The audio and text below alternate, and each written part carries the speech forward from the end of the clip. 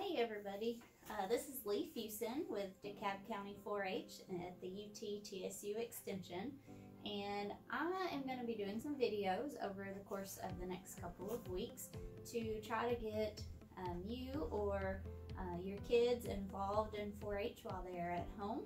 Maybe some different activities that they can do or maybe some demonstrations, some informative things.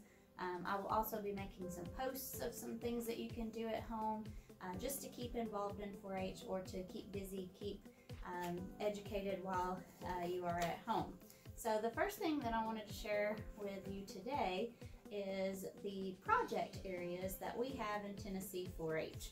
We have 26 different project areas uh, ranging from all different types of uh, subjects and interests, uh, something for everyone. And I wanted to go over some of those today because the videos and projects that I'm going to be posting from here on out will be related to these subject areas.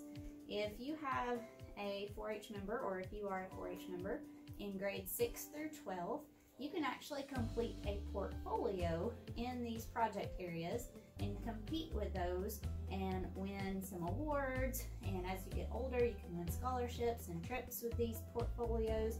And so they're really important. They are kind of fun once you get into it, uh, but it's all about good record keeping. Um, so you pick a project and you do things within that project, write it down, um, keep track of it, and put it in your portfolio. And that's something that I can help you with um, as you go along. Our portfolios are online now. Our forms are online now. I can send those to you. I would be happy to help you with those either remotely or one-on-one -on -one as well. So if you would like to get started on one or need help with one, please let me know. Um, you can uh, send us a message on our Facebook page. You can send me an email. Uh, you can call the office. Our number is 615 597 4945. Um, if you're from another county other than DeKalb and you happen to be watching this, feel free to contact your 4-H agent and they'd be happy to help you. If you're a fourth or fifth grader, then this is something to kind of strive for. Um, you can still be keeping good records and then when you get to that sixth grade level, you can actually start on your portfolio. But the earlier you get started with these, uh, the better off you will be. So I want to go through some of our projects. Uh, before I do, I want to tell you all about our Tennessee 4-H website, uh, which is just 4h.tennessee.edu. Or if you Google Tennessee 4-H, it'll pop up. But 4-H, no dash, just 4H dot Tennessee, spelled out, dot edu. And you will come to the website and if you will click on uh, programs, or actually, I'm sorry, projects, if you click on projects, it lists all of the different areas that we have. And there's some nice little colored pictures here.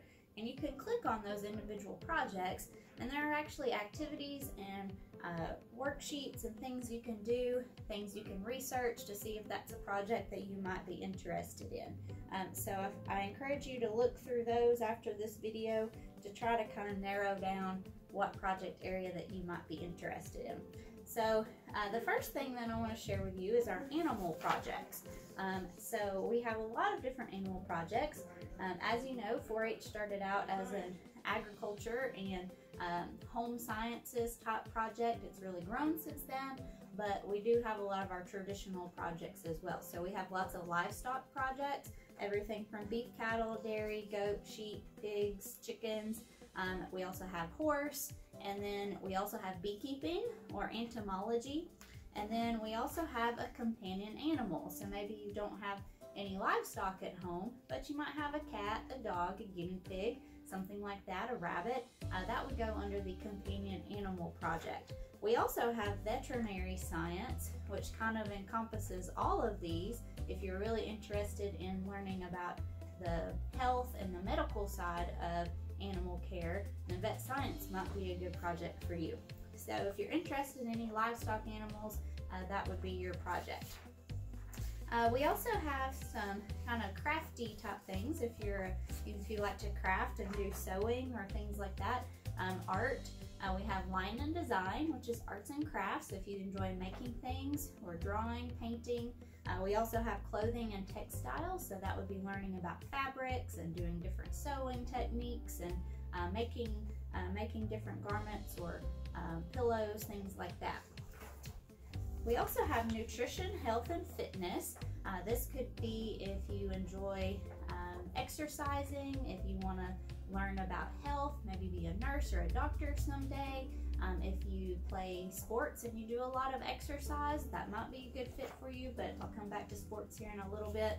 Um, if you just like the food aspect, if you're really into cooking, and maybe not always the healthiest thing, if you like to bake and uh, do a lot of treats, then food science could even be a project for you. So nutrition, health and fitness, and food science. For all you outdoorsy people, we have forestry, wildlife, and fisheries. So this can be uh, trees, it can be wildlife, hunting, um, fishing, could be taking nature hikes, um, anything to do with the outdoors would fit in this category. So I know a lot of you are probably interested in that one. Performing arts and recreation is one of our kind of broad categories because it has everything from uh, dancing, singing, being in the band, um, and also uh, sports and games. So lots of different things to pick from there. Um, and again, this is a really broad category. It fits a lot of things. So if you're in the band, if you're in choir, if you play soccer, baseball, football, all of that would fit in this category.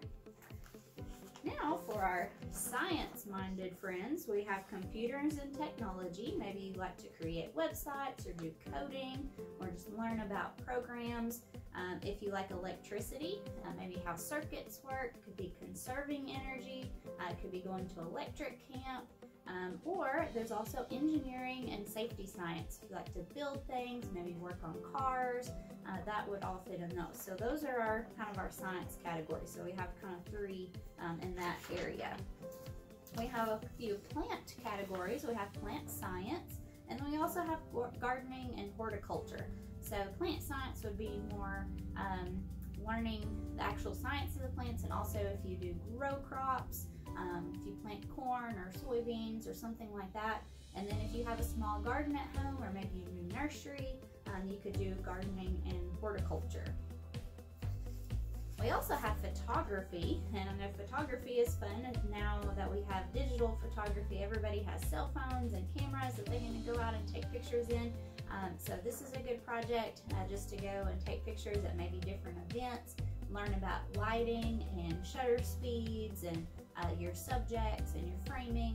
Uh, so those would all be things that would fall under photography. Next we have consumer education.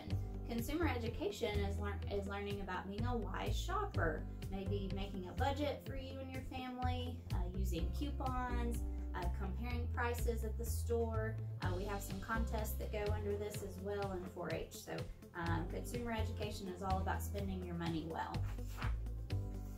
Next, we have communication and public speaking. So if you enjoy our public speaking contests, if you like giving presentations, um, even if you're interested in journalism or being a sports broadcaster, uh, that would fit under uh, that category. We also have personal development, which is growing as a person. Um, this can be kind of a broad category. Uh, maybe if you're not quite sure what project area to fit in, but uh, you do a lot of things at school, if you do a lot of community service and um, uh, interview practice and anything that helps you grow as a person, personal development would be for you. Finally, we have leadership and citizenship. These two projects are unique because they are their own projects. You can actually do a portfolio in leadership or a portfolio in citizenship. But let's say you pick the beef cattle uh, project area and you're out taking care of your cattle or showing cattle or learning more about cattle. There is also a leadership and citizenship part of your portfolio no matter what project area you choose. So no matter which of the project areas, you still have to do some citizenship and leadership activities. So we really want you to be involved in your community, be involved in helping younger 4-H members learn, and so you still need to keep up with citizenship and leadership projects no matter what um, area that you choose. So that was just a really quick little uh, spill about our project areas. Um, I'm going to be giving you more details as we go along. And again, I encourage you to check out our 4-H website or Tennessee 4-H website to uh, click on some of the um, activities um, within there. So if you do pick beef cattle, you can pull this up and it has activity sheets, it has additional resources. So these are things that you can research within that project area that you can do at home to put in your portfolio.